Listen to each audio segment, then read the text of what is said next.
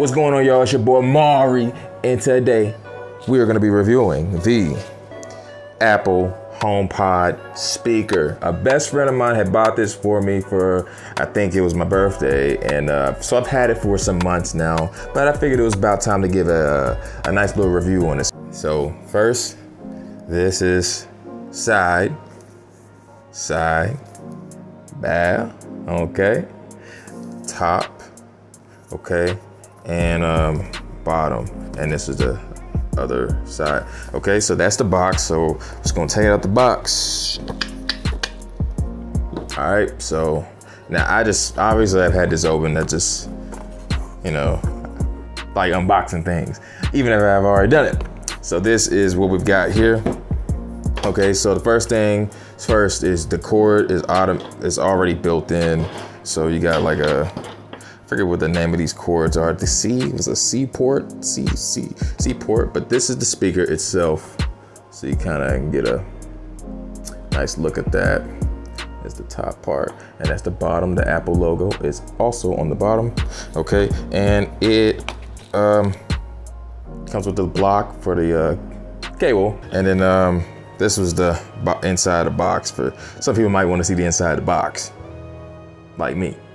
So that's the inside of the box. First, I wanna say I didn't really think I needed a solo speaker considering I've got many high-end speakers in my room all my rooms. Actually, it's kind of special. This is actually really cool, okay? And I'll tell you why. You can communicate through it.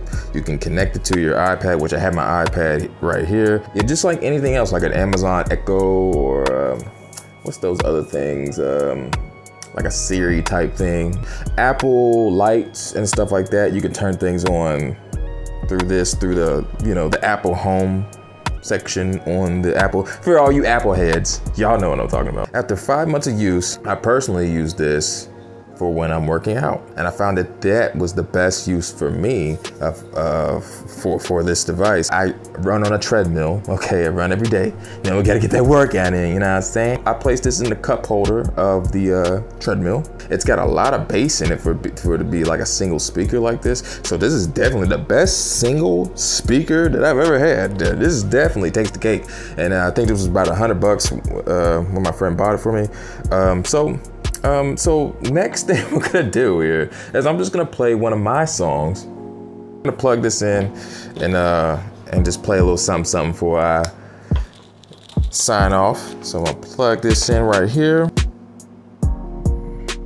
The track that I'm about to play on my Apple HomePod is called Never Late. It's on Mac Talk. If you ain't checked out that Mac Talk, I'm gonna throw a little information thing up there and you go ahead and check that out so y'all can hear. Money, man. My money, man. My money. Oh, yeah, my money never late. Money. Yeah, I threw the money in the face. It's got a lot of bass, like I was saying. Yeah, I keep the hammer on me. Wow. Ooh, yeah. Yeah, I keep a bitch on it. Bitches be fake, bitches be fake, niggas be fake. They won't say nah nah nah to my face. So when I go all in, I can't play. Ay, we get the gambling the money. Now I know my best friend probably has like about five of these, I believe, and he even has the bigger one, I think, too. This controls the volumes. I don't know if you guys can see. I'm gonna bring it up close a little bit here. You see the little volume things? Yeah, yeah, yeah. And if I feel like, you know, that.